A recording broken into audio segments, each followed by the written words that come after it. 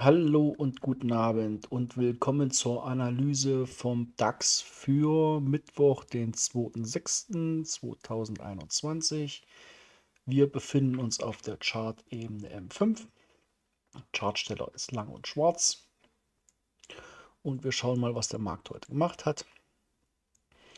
Hat sich zwar etwas komisch verhalten, weil eigentlich habe ich das hier als Korrektiv gesehen hat es eben nicht gemacht und er springt hier in einem Gap morgens hoch.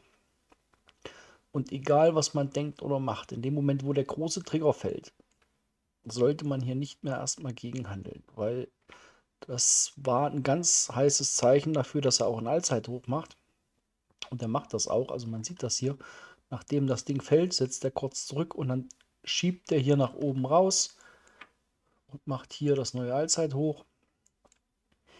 Jetzt ist natürlich die Frage, wo wir uns hier befinden. Und das ist kompliziert derzeit. Das ist richtig kompliziert, weil so richtig abgeschlossen ist die Korrektur nicht. Beziehungsweise hat er hier irgendwo möglicherweise nach oben was abgeschlossen. Und das muss man jetzt beobachten. Das Problem ist einfach, es gibt so viele Möglichkeiten hier im Moment. Bedeutet, man sieht das ja hier auch. Ich sage, ich habe hier eine 1 oder eine A hingeschrieben, eine 200b und dann macht er hier die C verkürzt. Was immer das hier ist. Er springt eben oben raus, obwohl es aussieht, als wenn es nach unten weitergeht. Und er kommt eben leider nicht hier unten in diesem Bereich. Er ist übergeordnet long. Das war unsere Hauptvermutung, weil das korrektiv aussieht. Und in dem Moment, wo die, der Bereich fällt, schiebt er eben nach oben durch. So, jetzt gehen wir mal zu den Zählungen über, dass wir mal grob abschätzen können, was passiert. Also immer die Szenarien.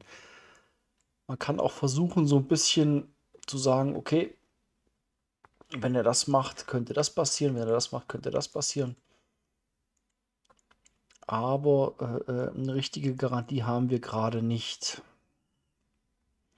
Was man sieht, unsere alte Trendlinie hat er sich hier äh, wiedergeholt, die wir hier hatten. Das ist manchmal ganz interessant, wie alte Linie wieder sich holt, zumindest die ersten Bewegungen abfängt.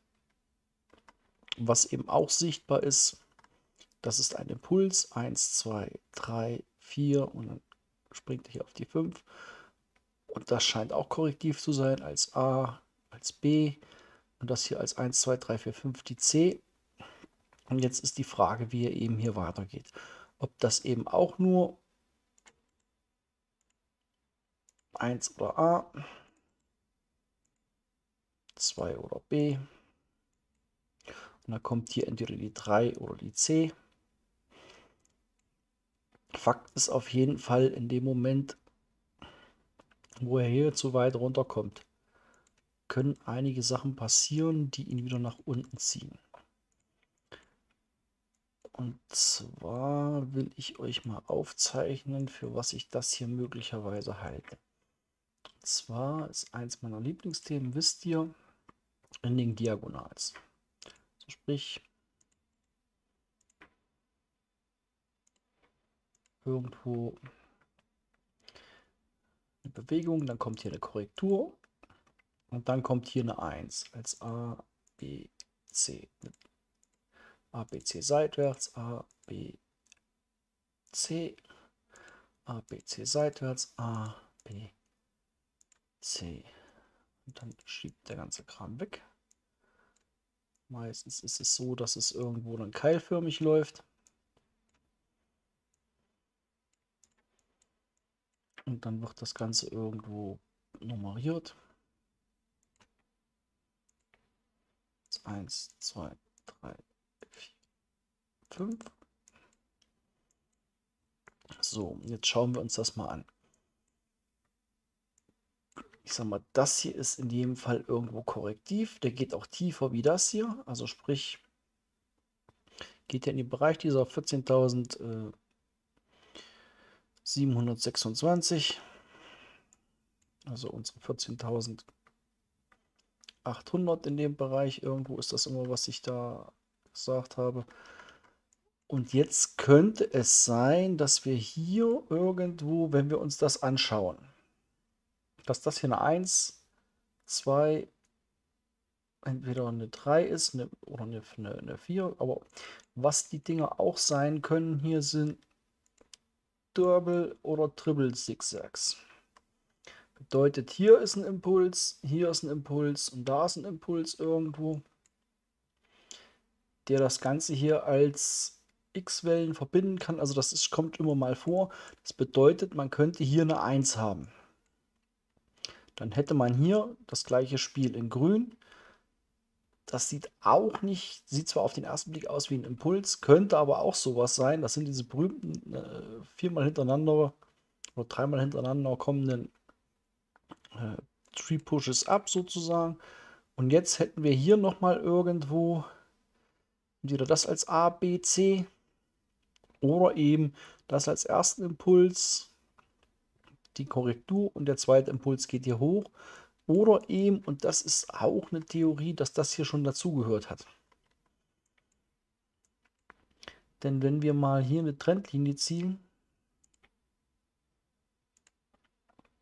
das ist eben vielmal so, dass wenn wir die 1 mit der 3 verbinden, ergibt sich die 5 und das wäre die 1, das wäre die 3 und das wäre die 5. Also sprich, wenn wir das hier duplizieren und legen das mal an hier. Dann ist das hier oder das hier die 4. Und dann könnte das hier die 5 sein.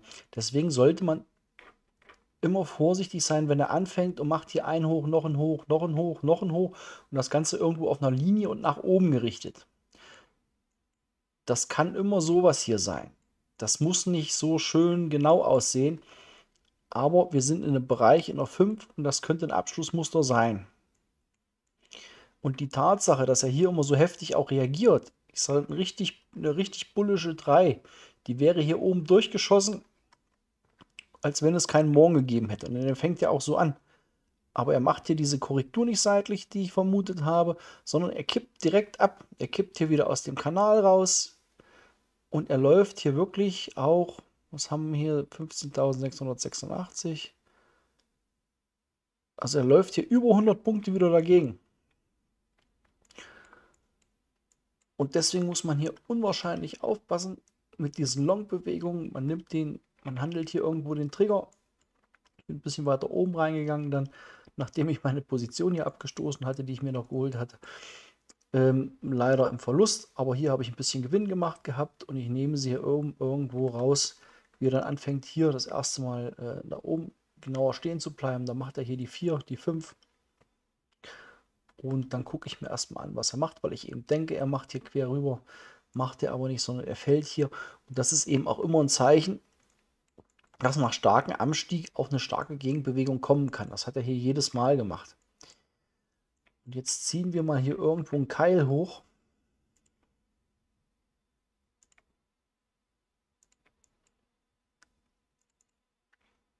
Den sollte, dürfte eher nicht.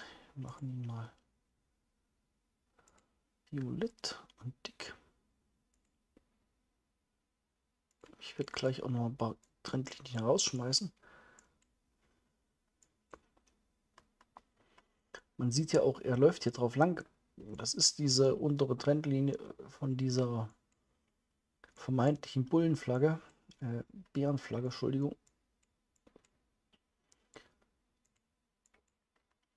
Und macht hier, wenn man das zählt, das ist eben A und B und eben der verkürzte C, Beziehungsweise, das ist jetzt die nächste Option. Wir machen mal hier ein bisschen sauber.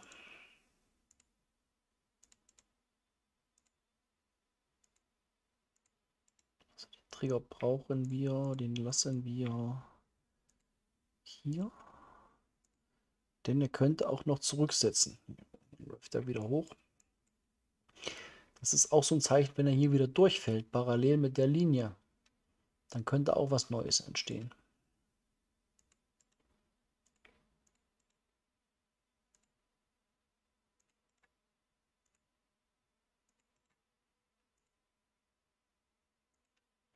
Also dieser Bereich hat jetzt seine Wucht verloren.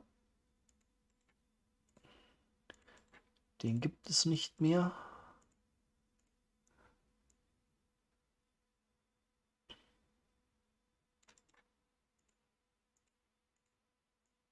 Aber das ist jetzt irgendwo was. Das mag so eine 3 nicht. Also wenn das hier irgendwo, keine Ahnung, das hier noch Teil der Korrektur ist und das ist die 1, das wäre die 2. Die 3, die 3 kippt aber nicht über diese Linie. Wenn das hier eine, eine 0 wäre und das eine 1, das wäre die 2. Diese 0-2er Linien, da kippen die 3 nicht drüber hinaus. Das heißt, wenn der hier durchkippt, kann das ein Zeichen dafür sein, dass diese Bewegung hier beendet ist. So, gibt es auch nicht mehr hier unten.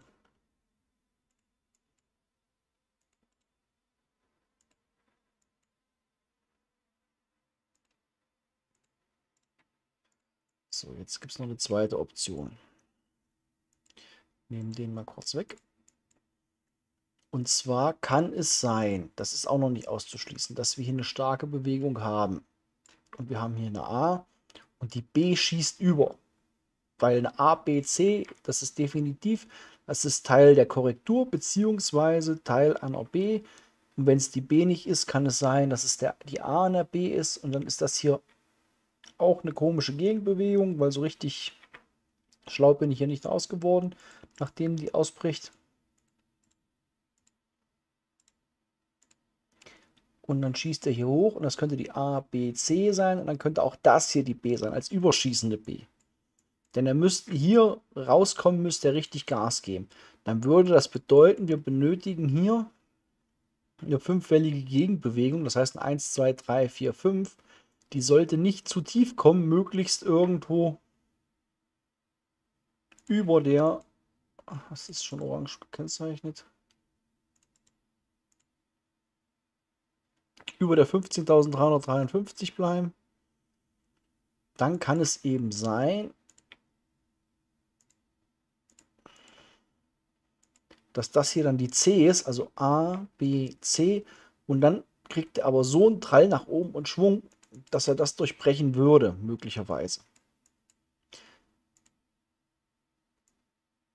Das ist selten.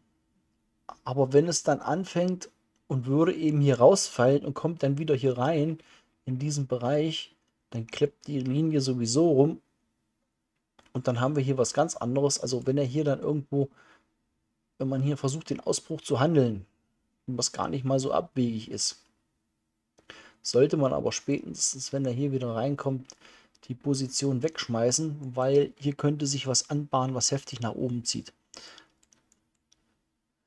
Ja, ihr seht, es gibt so viele Möglichkeiten, dass man derzeit abwarten muss, was sich eben irgendwo ergibt. Ne? Also sprich, hier hatte sich ein Kanal ergeben. Das war was Interessantes. Wenn sich der Markt hier morgen nochmal hochschlängelt, wäre es auch interessant weil wir hier eben den ersten Impuls haben und dann folgt irgendwo noch eine Bewegung nach. So sprich, dann hätte man hier einen kleinen Trigger an der ehemaligen Trendlinie und könnte eben die nächste Bewegung handeln. Man muss nur aufpassen, wenn es eine B ist hier, dann kommt hier eine C und danach würde er eben wieder hochziehen. Aber die Wahrscheinlichkeit ist eben hoch, dass wir entweder sowas hier bekommen oder eben doch, weil es eine Abschlussbewegung ist, in den Bereich irgendwo wieder zurücklaufen. Das wird sich morgen, denke ich mal, langsam fortsetzen oder abzeichnen. Derzeit bin ich flat. Ich schaue mir das ganze Spiel an. Da ich, wie gesagt, ich habe hier 1000 Theorien für und keine ist so richtig erwiesen. Das wäre eben eine hier. Die Ellipse hier rüber. Das wäre eben so eine, wenn der Trigger hier fällt, könnte das eben auch hier möglicherweise daneben ein paar Punkte nach unten geben. Nach oben sollte man derzeit immer vorsichtig sein. Man sieht es ja hier. Ich sage nach der Überschreitung 15,543 und dann macht er 15,605. Gut, sind auch irgendwo ja 60 Punkte. Ein bisschen mehr wie 60 Punkte.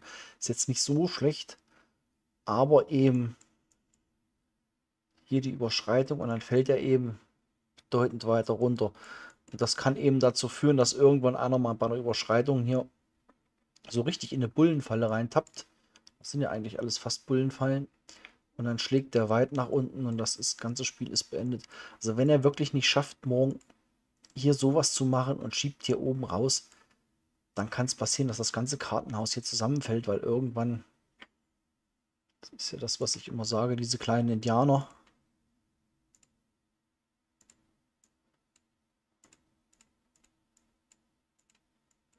wenn man sich das anschaut, hier einfach den das abdeckt, hier ist ein Indianer, hier sitzt ein Indianer drüber, hier sitzt ein Indianer drüber. Und das ist auch ein kleiner Indianer, die sitzen alle hier hinter der Hecke. Das ist so das, was die Linda Bedford Rushke immer erzählt über diese Three Little Indians. Jetzt sind es schon vier. Ne? Und irgendwann, wenn er dann hier rauskommt und schafft diesen Sprung nicht wieder hoch, dann haben wir hier schon vier Indianer. Was dann ganz extrem ist, ne? weil hier ist auch so einer. Ne? Und man sieht, was dann hinterhergekommen ist. Und irgendwann sind es dann aber einer zu viel. Und dann fängt er an und kollabiert, beziehungsweise macht hier die nächste Trendlinie. Das ist ja unsere aktuelle Trendlinie. Wenn wir davon ausgehen, dass das hier möglicherweise die C bzw. 4 ist, dann wäre das der Hauptindikator, dass diese Bewegung wirklich beendet ist hier. So, ich wünsche euch einen schönen Abend, einen guten Handelstag morgen und wir hören uns morgen Abend im DAX. Auf Wiederhören.